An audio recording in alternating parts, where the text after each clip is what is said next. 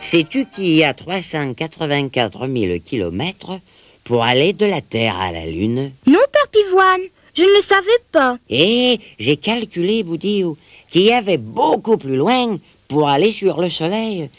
Ah, les distances, ça me passionne. Hé, hé, du manège au bois joli, tournicotis. Il suffit de dire... Alors, nous le disons, tournicoton. Un, deux,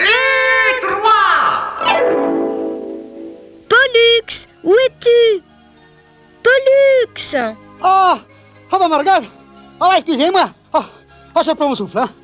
Mais je suis bien content de te voir. Là, ce qui se passe.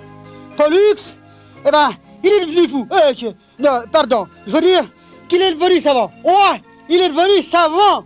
Que veux-tu dire, Ambroise? Il veut dire 1 plus 1 égale 2. Des tas de choses comme ça, quoi. 1 plus 1 euh, égale... euh, à propos, Margot, euh, c'est-il vrai que ça fait 2 Mais oui, Allons voir.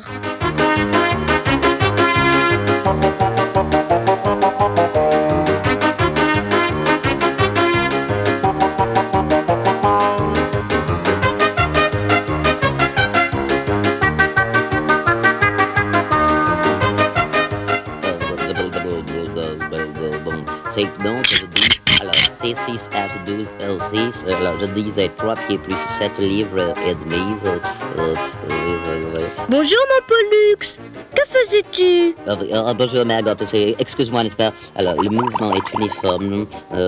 et d'après la loi de Jouvence, le tube doit s'écouler.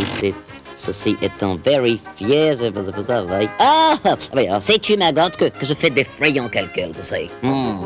Je ne veux pas te déranger. Ah, non, penses-tu, c'est rien. 5 et 3, ça fait... euh, ça fait combien? Ah, peut-être dans 8. Ah, merci, c'est ce que je disais. Donc là, voilà, je pose 8. Je suis presque parvenu au résultat, voilà. Ah, je fais un calcul sur les distances. Hmm. Toi aussi? Ouais, ouais, ouais, moi aussi. oui.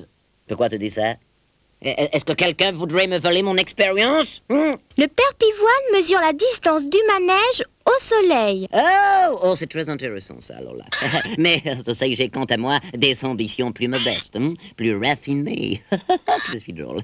Excuse-moi, donc, d'après l'examen de la substance... Oh, bah c'est joli toutes ces bouteilles. Oh, ignorant gastéropode.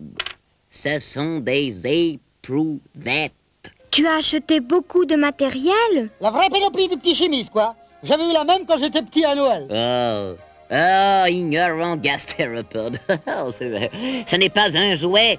C'est indispensable pour ma recherche. Ouais, ouais, mais Zébulon, il m'a dit comme ça, vous aviez acheté tout ça en solde. Alors? Oui, al- alors, alors je, je disais, n'est-ce pas, que ma constante de gravitation plus la pulsation plus le volume plus la charge, 7,5 moins 3, 1416, et suivant la vitesse de la lumière. Oh, bah c'est quand même beau d'être savant. Oui, oui, surtout que je travaille pour la paix, moi. hmm? 10 plus 2 égale euh, euh, 12. Je suis fière de toi, Pollux.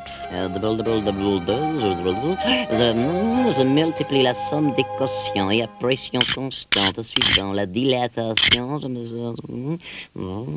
C'est sûrement une invention importante. Ah, il va devenir un chien très important. On sera obligé de l'appeler Maître Pollux dans l'Académie du Bois Joli. Vrai, vrai. Eh bien, après de puissants et difficiles calculs, je crois pouvoir assurer que la taille d'un morceau de sucre ordinaire est en moyenne de 3 cm. Pourquoi est-ce que ça que vous me regardez comme ça tout surpris hein? Les scientifiques, nous serons toujours des incompris.